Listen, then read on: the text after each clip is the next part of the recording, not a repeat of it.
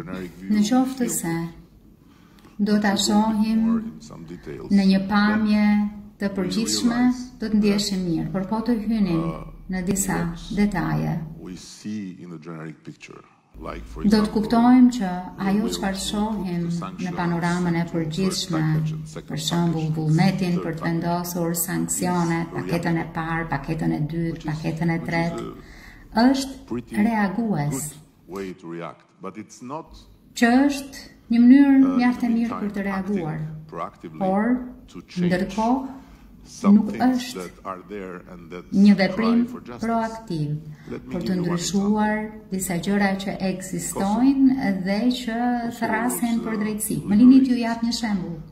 Kosova. Uh, Kosova u çlirua nga fuqitë e mëdha, fuqitë demokratike nga një regjim barbar. Por pa gjenjeni, nën regjimin barbar, ata mund të lëviznin lirisht nëpër Evropë. Me çlirimtarët, ata janë peng, nuk mund të lëvizin lirisht.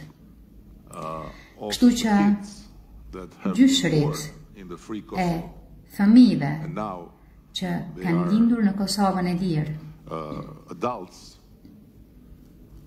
dhe që tashmë janë në moshë madhore, mund të shkonin në Gjermani, të vinin në Austri, edhe të punonin.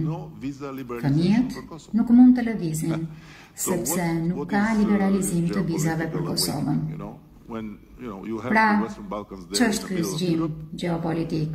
Kur ke Ballkanin Perëndimor aty në zemër të Europës, dhe ke Bashkimin Europian, me aq sa di unë, realitetin e vetëm gjeografik në historinë e hartave me një kufi të jashtëm dhe me një kufi të brendshëm, sepse për të hyrë në Ballkanin Perëndimor duhet të hysh së pari në Bashkimin Europian, nuk mund të hysh në asnjë prej vendeve të Ballkanit pa kaluar së pari në Bashkimin Europian. Kështu që ky realitet gjeografik nuk trajtohet në mënyrën e duhur politikisht.